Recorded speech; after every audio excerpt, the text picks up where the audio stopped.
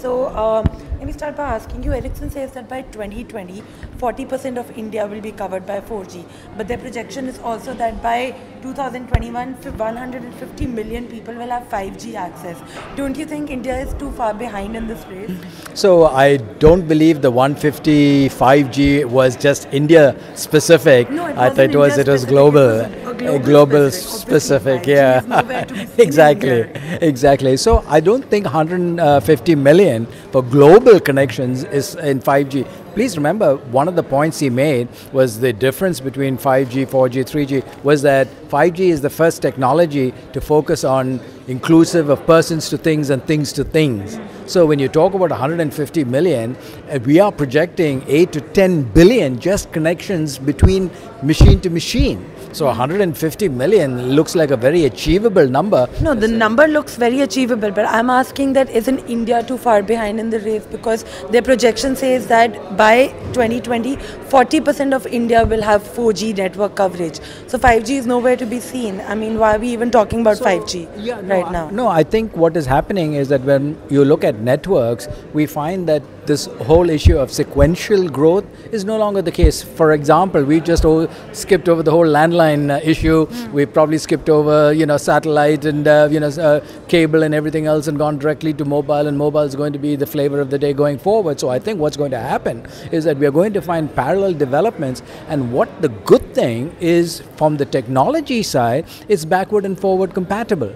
So the network equipment manufacturers are saying, look, you know, it's not a throwaway. 4G is no longer a throwaway. We're going to help you migrate and move, and there will always be that demand. So spectrum per se is going to become agnostic to Gs. Also, you know, one very important question which is on everybody's lips right now is that if the country is facing such a stalemate when it comes to a basic issue such as call drops, uh, are we? Is it actually realistic right now to even think of implementing better networks like 5G right now? So I think uh, this whole issue of call drops in the last several months is kind of a blip in the large uh, issue of uh, matters because remember we had kind of a tsunami of events gathered together. What are they? One, we had our complete network spot frequencies changed as a result of the uh, of the auction process, right? So you have no other country in the world with this type of complexity of network. 200 million people on a network live having to change spot frequencies and still not having an issue.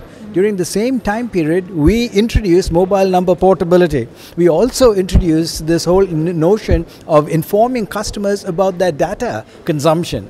All major interventions into the network. The sort of wonder is that worse things didn't happen. All right. So I think yes, we acknowledge the fact that there is a blip.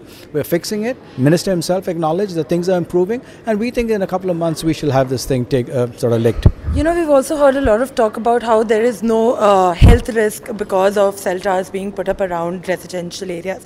Do you stand by that statement? There have been a lot of studies done that you know radiation is is uh, in fact a very real threat. So uh, just dismissing it completely right now, saying that it's not, uh, isn't that too premature? No, I don't think it's premature. I don't think the World Health Organization and the organizations that are tasked, which are the health, uh, you know, departments of the various governments, all right, take this thing for granted. Everyone, Sweden, UK, uh, Finland, uh, Europe, all of these departments that are tasked with looking after the health of the citizens, all of them are not going to say, hey, listen, you know, we're just going to ignore it. I think we, on top of that, have one of the most stringent uh, norms. So I think the government has appropriately set the safety norms.